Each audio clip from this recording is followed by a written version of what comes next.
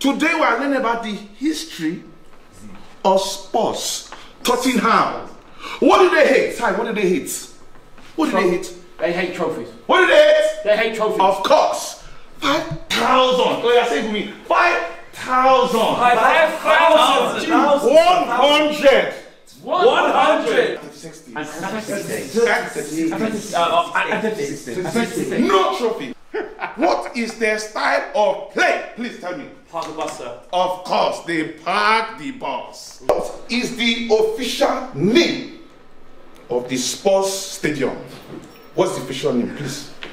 Toilet Bowl Stadium, sir. Because what? They are shit. Uh-huh. They get beat. Battered everywhere they go. They go. get what? Battered everywhere they go. They go. get what? Battered everywhere they go. Go and play. You have done well.